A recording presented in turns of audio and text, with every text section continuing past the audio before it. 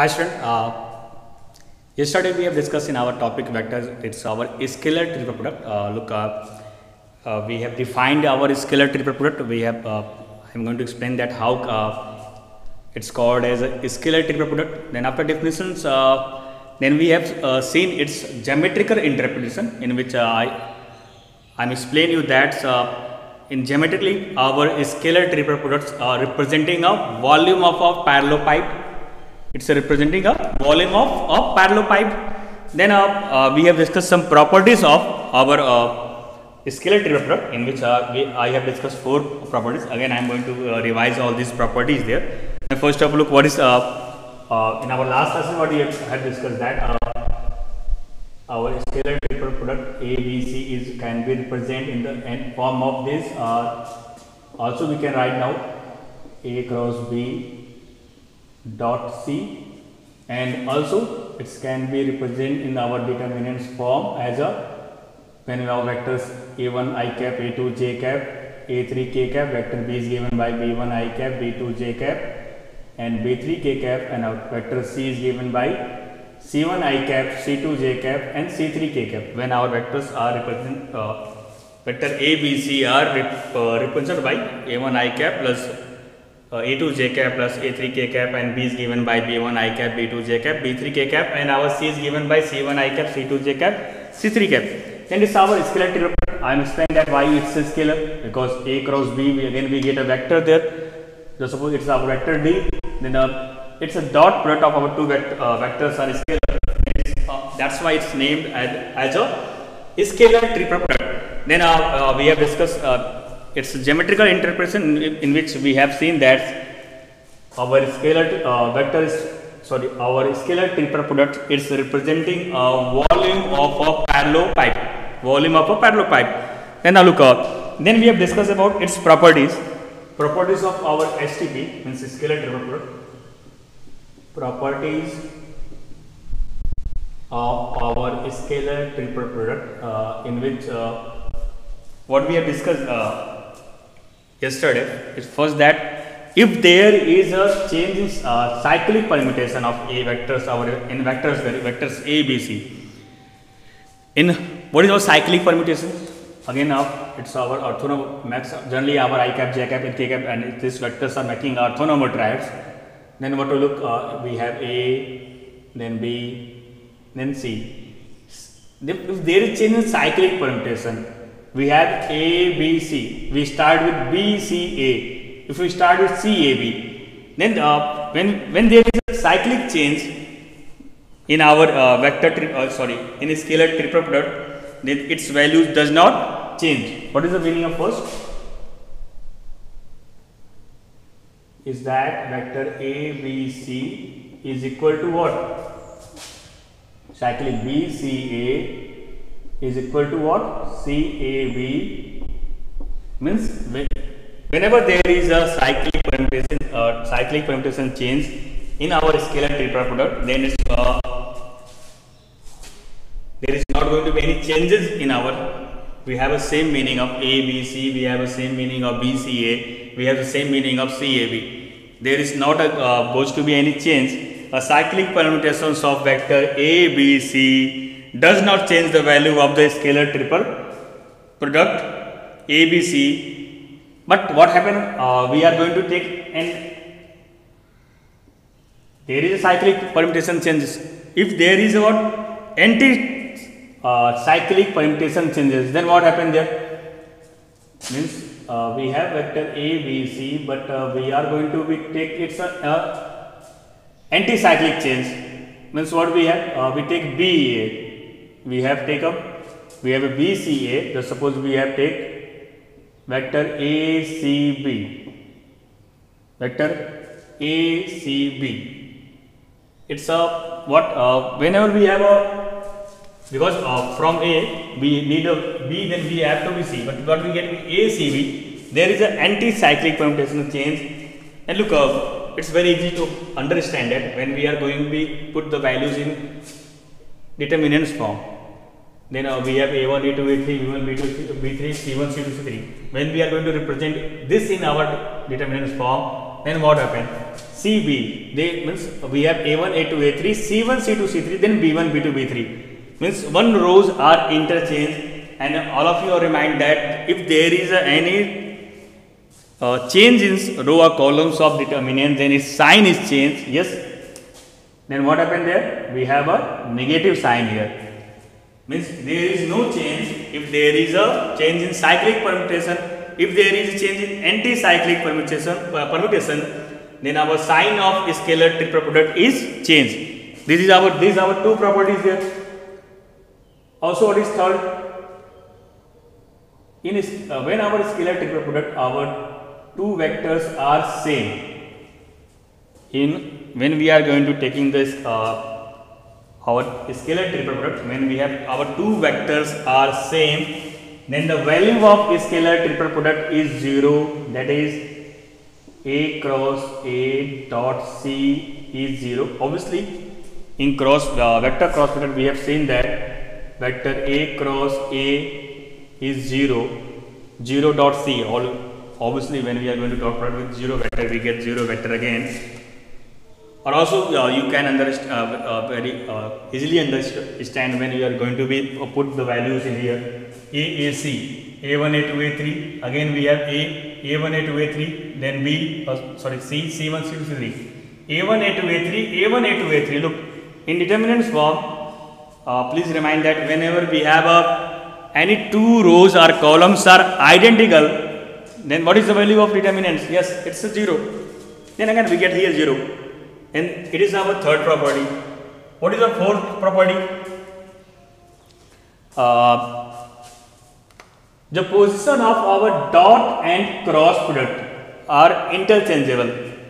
In cyclic order, in cyclic order, we can change our cross as a dot and dot as a cross. This is our fourth property. Means our vector A cross B dot C. We can also write down its what by changing by changing cross and dot. Vector A dot B cross C. In a cyclic order.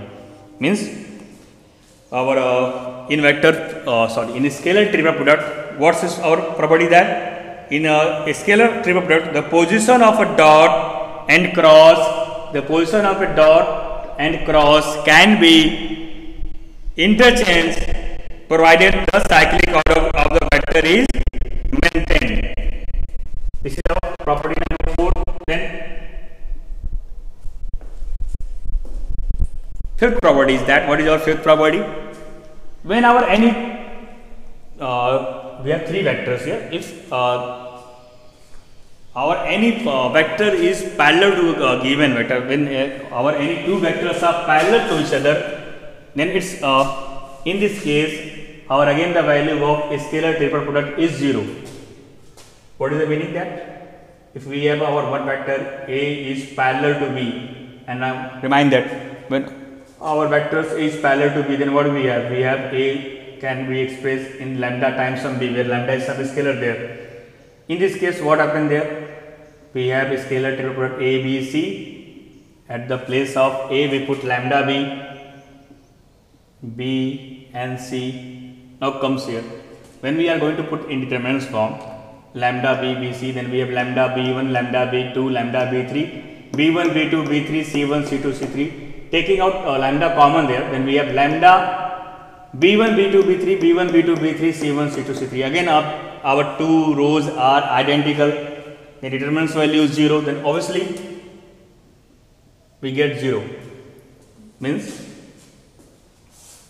when we are going to be expressed also we can write, uh, write down this as a lambda B, B, C. Then from here you can set whenever, whenever our two vectors are same, its uh, values vanishes.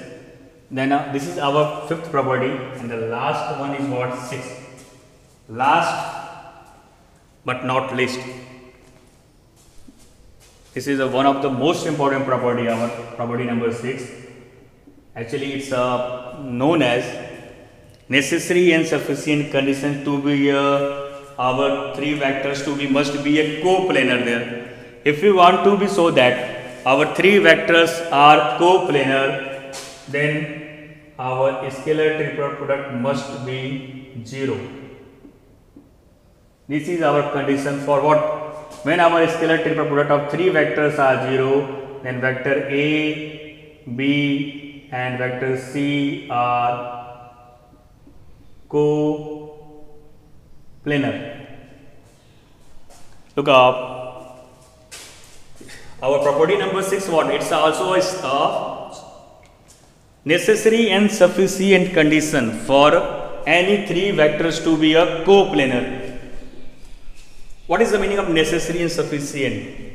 Necessary and sufficient means uh, if our scalar triple product is 0 then means our three vectors are coplanar.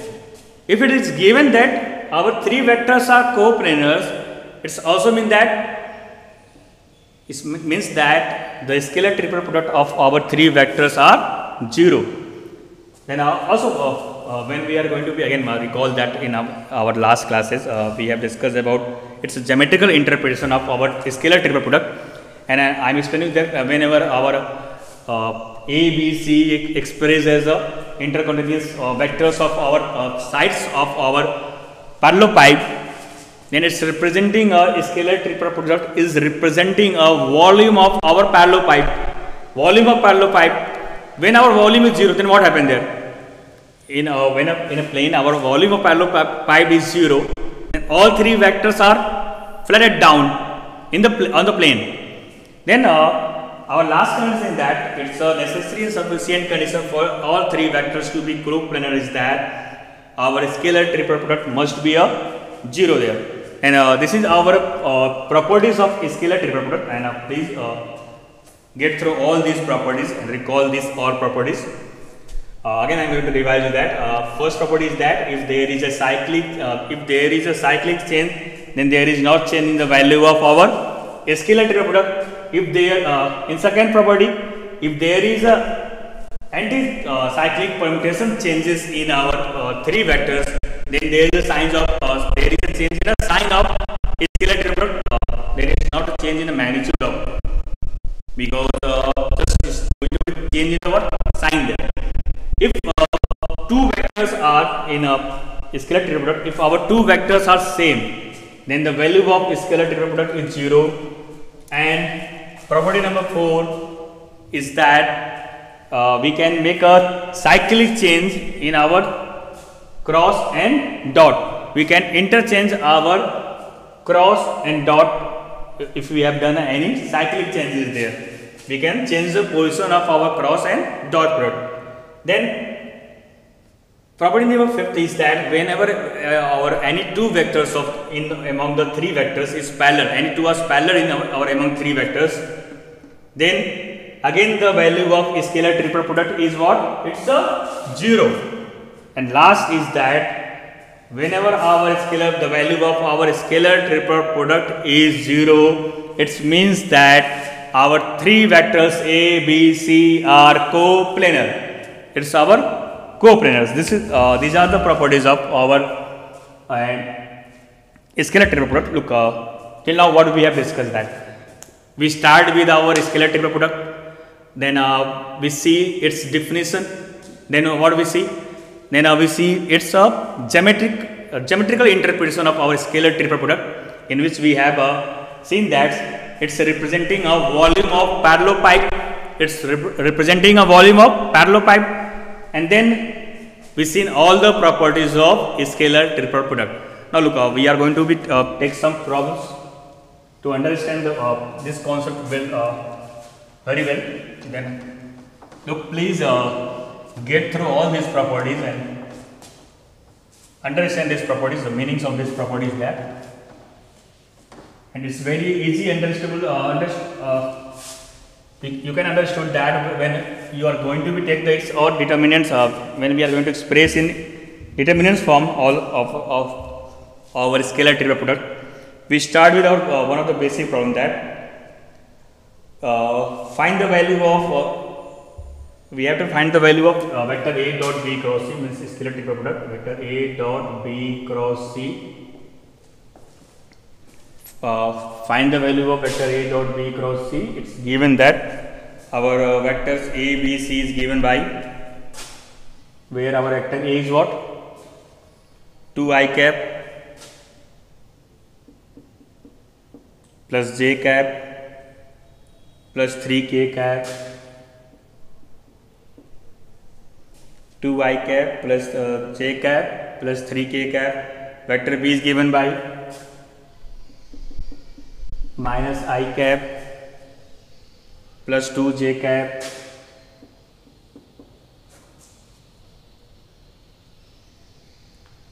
plus k cap and the vector c is given by 3 i cap plus j cap plus 2 k cap. 3 i cap plus j cap plus 2 cap. Now look we have to find out the values of our scalar product vector a dot b cross c. Then how can we uh, express our scalar product in the determinants form? We are just going to be it's what a1, A2, A3, B1, B2, B3, C1, C2, C3. And what is the values of our A1, A2, B1, B2, C1, C2, C3? A1, A2, A3. Then we have 2, 1, 3, minus 1, 2, 1, minus 1, 2, 1, 3, 1, 2.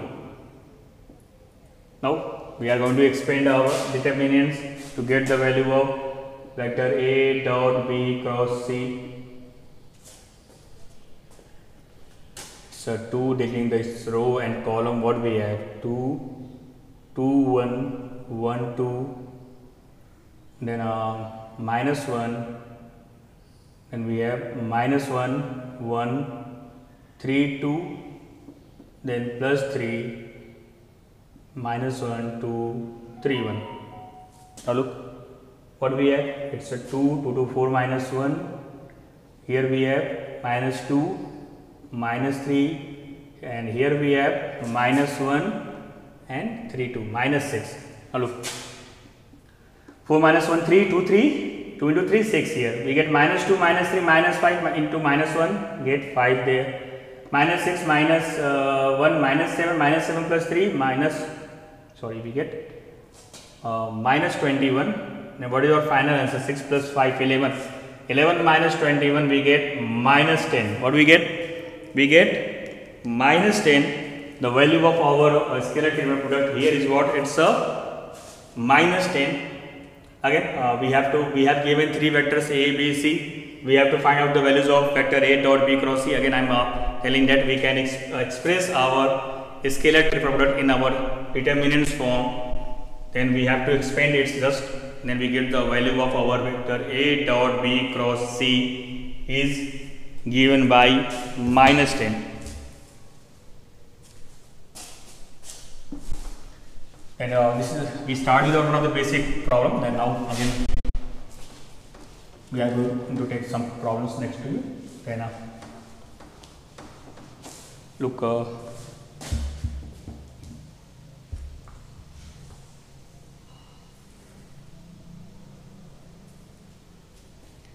Uh, next one what we have to find that uh, if i j k are unit vector are mutually perpendicular what is i k j? Uh, we have to be given that uh, vector i vector j vector k are mutually perpendicular. It's given that vector i cap j cap k cap are uh, mutually perpendicular unit vectors then we have to find the value of ikj find ikj again we have to find ikj what is by definition the value of ikj it's our scalar product. And how can we write down? I cap dot k cross j. We can express it. I dot k cross j. And what is the uh, our k cross j it's i it's uh, j it's our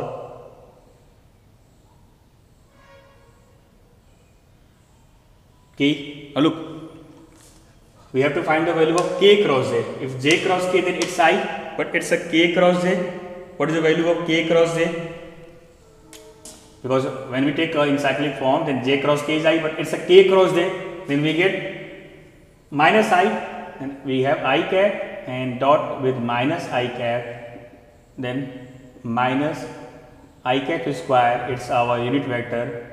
The minus mod of i cap square and we get minus 1 then what is the value of i cap k cap j cap is given by minus 1 i hope so. It's a very easy to you. Then now take another next uh, we are going to take another problem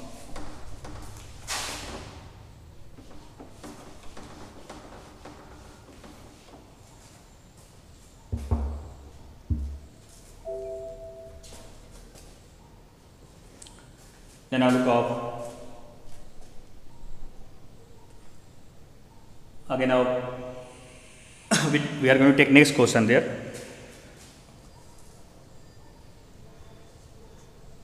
What we uh, given that uh, we have uh, given three vectors uh, we have to show uh, that three vectors a b c. We have given three vectors a b and c.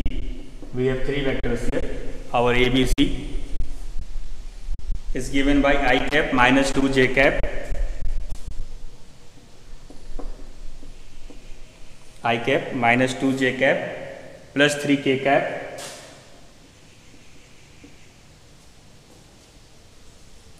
and vector b is given by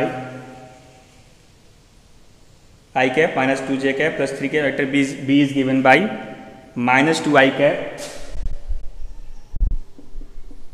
plus 3 j cap minus 4 k cap.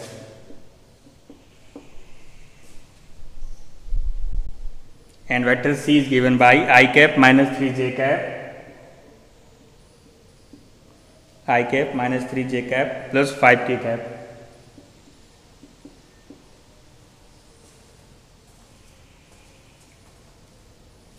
Look, uh, we have given three vectors. Now we, it's given that if a vector is uh, expressed by a, b, c, then we uh, please uh, here we have to show that these vectors are coplanar. Now look, what do you have to show that? We have to show that vectors a, b, and vector c are coplanar.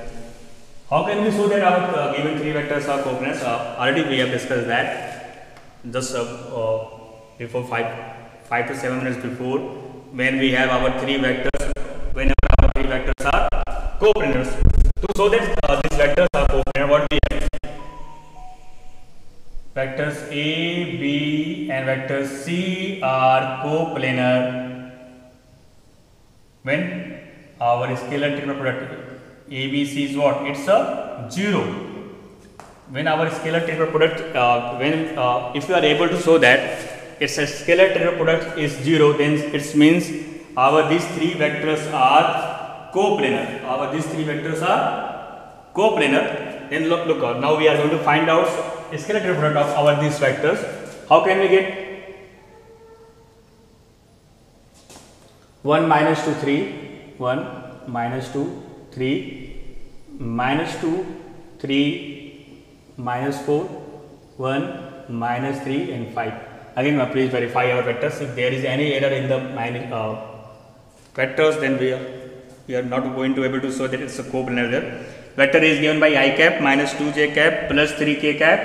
Vector b is given by minus 2 i cap plus 3 j cap minus 4 k cap and c i cap minus 3 j cap plus 5 cap 1 minus 2 3 minus 2 3 minus 4 1 minus 3 and 5 now we are going to uh, find out the value of determinants.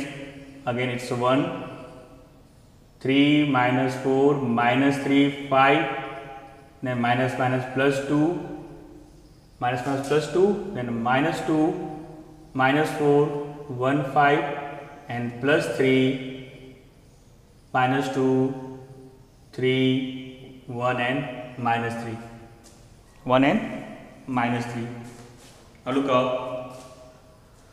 We are going to find out the values. Uh, how can we get it's a 1 5 3 15 minus minus plus then uh, 4 3 12 plus 2 minus 10 it's a minus minus plus 4 plus 3 6 minus 3 now 50 minus 12 3 1 into 3 we get 3 here. Minus 10 plus 4 it's a minus 6 minus 6 into 2 minus 12 6 minus 3 3 into 3 9 now what we get? 12 minus 12 what do we get? 12 minus 12 we get its value 0 now the value of our scalar triple product is what? It's a 0 the value of our scalar triple product is it's a 0 and uh, remind that it's our property number 6 when our uh, whenever our value of scalar triple product is 0 it means our given three vectors are uh, what? It's a coplanar or our these three vectors are coplanars